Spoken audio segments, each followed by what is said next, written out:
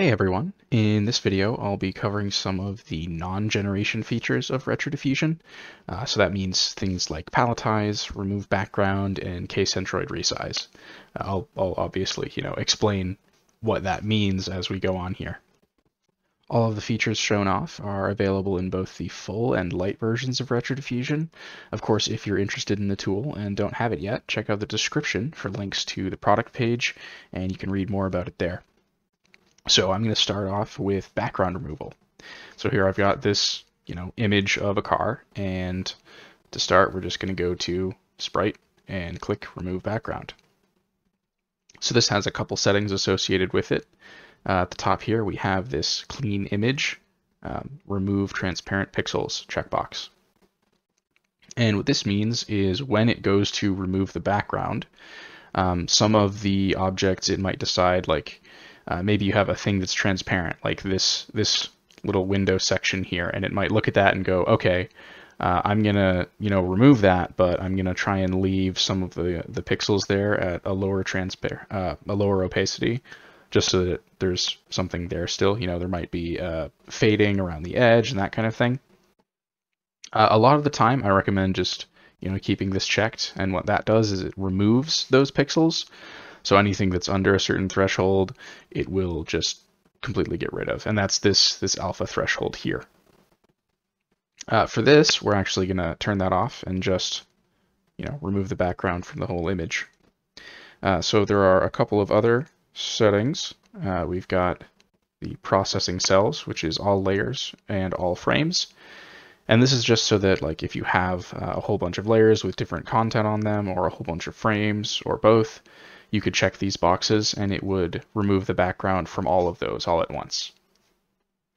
So I'm just gonna so I'm just gonna make a selection here and that's the entire canvas selected. That was Control A. That's just a, a hotkey in Aseprite that you can use to select everything.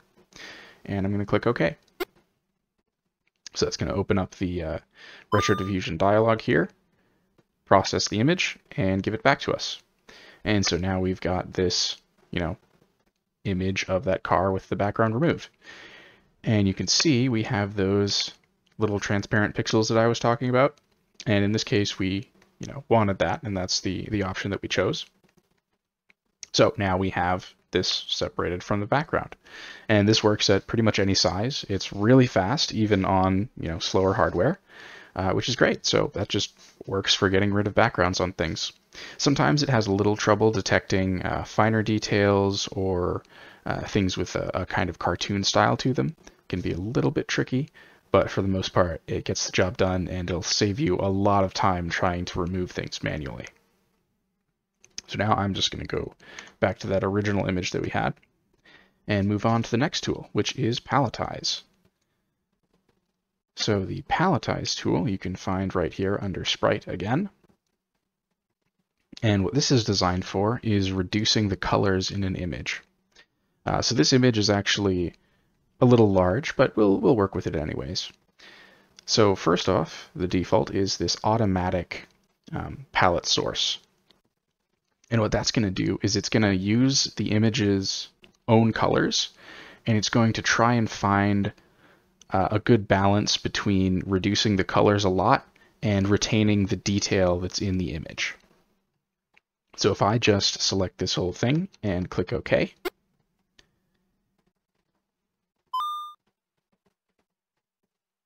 you can see we get back this image with a whole lot of, or a whole lot less colors.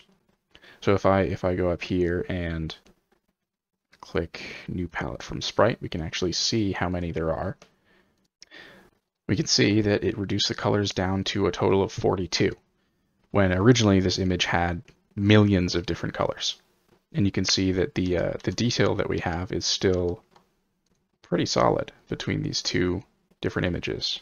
Not a whole lot changes. We do lose some of the greens, but that's not a terrible thing. So besides the uh, automatic tool we have there, we can also go over to, let's try adaptive next. So with adaptive, you can actually set the exact number of colors that you want. And we'll go with 12, just to, to really cut down the number of colors that we're using.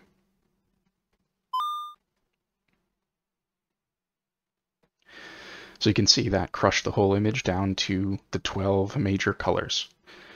And again, if I run that uh, new palette from Sprite, we can see all those different colors that it decided to keep. Moving on from that, um, we can also, now we can look at this uh, next setting here, the dithering settings. So we have a something called a matrix size here, and it's using the Bayer dithering algorithm.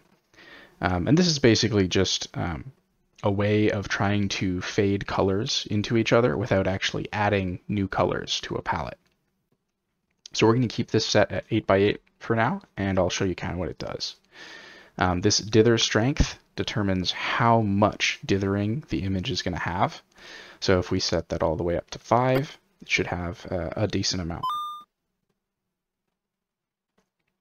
Yeah, so now you can see we have these little like checkerboard patterns. And this has a distinct look to it. And it's also used in a lot of older pixel art games. So if I go back here with those same settings, but I change the matrix size to 2 by 2,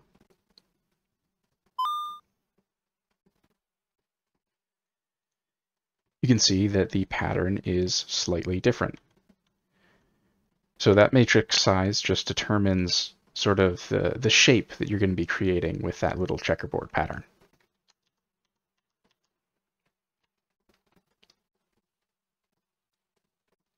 I'm going to set that uh, to none and the dithering strength down to zero.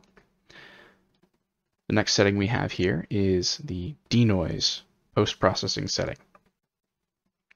And this is just a way of removing some of the uh, random little pixel details that you get. Um, so if I just leave these at the, uh, the default setting there and run it,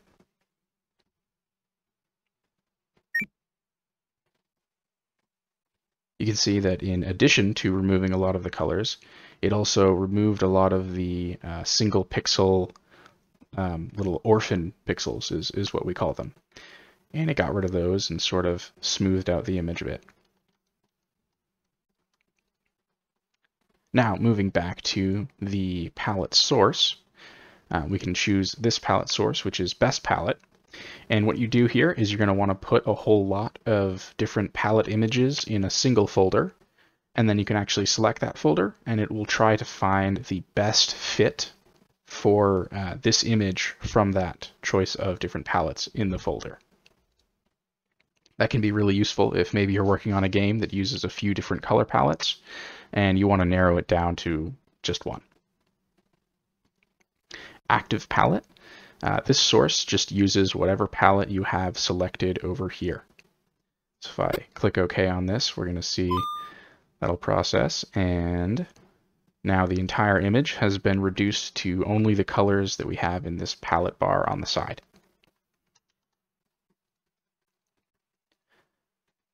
Uh, you also have the defaults, and this is just the default palettes included in Aseprite. And you can select from this little drop-down list which one you want to use. There's also File, and for this you can actually open up, uh, I believe, pretty much any image file, and it should be able to grab the palette from it. There's also a URL setting, and for this you actually want the link to a direct uh, PNG file hosted online somewhere and that will let you just directly use the palette from online. Uh, like in this case, it's linked to the AAP64 color palette from lospec.com. And if I click OK here, it'll just run through and reduce the image down to those colors.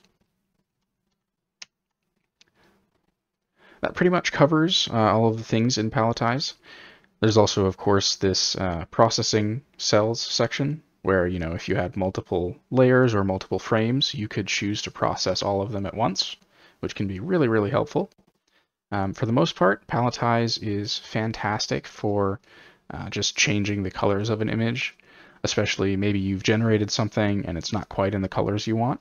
Maybe your game has a, a set color palette, or you're working on an art piece that has a, a limited number of colors. And you can use Paletize to help mathematically reduce that down to something either just usable out of the box or that can be really easily tuned to, uh, to what you want. So beyond just you know color changing stuff, we also have this k-centroid resize. Um, now, Kcentroid resize, it can't go larger than base, so it will always only be uh, smaller. This is a, a, downscaling algorithm. The reason it's called k-centroid is because it's based on a, uh, a, math, a mathematical concept of, of k-means. Um, and basically, the way you can think about that is, so you've got little clusters of information. And those k-means uh, try and find the centers of those groups of information, of, of similar information. And the way that we're using that for downscaling is just using it to, to kind of detect the color that we want. Anyway, uh, regardless of how it works, we can just type in a size here. Um, and in this case, we also have this preserve outlines option.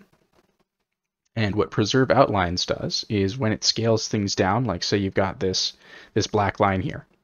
Normally that might get just completely erased when you downscale it, but preserve outlines would actually expand that to try and make it larger so it stays in the uh, processed image. I'm actually going to uncheck that for now and just go down to this, this new size that we have. Yeah, so there's that resized image. If I go back to the original here and run a resize again with that preserve outlines checked, takes a little bit longer. Oh, my bad. I, I uh, put the settings wrong for that one. If we actually change the size like we're supposed to, it goes down and you can see that those lines have been preserved a lot better. Hopefully this helps explain some of the cleanup tools available in Retrodiffusion and lets you take full advantage of them for whatever artistic process you have. Personally, I really like to use paletize and remove background, especially for, you know, cleaning up colors and things or even swapping around to different colors, and obviously for removing the backgrounds of things. Either to use as input images, like maybe in the case of this car, I want to take this and use that as the input for something, but I don't want to have all of this background stuff confusing it. Or if I have an output and, you know, I want to just have the character or the main focus.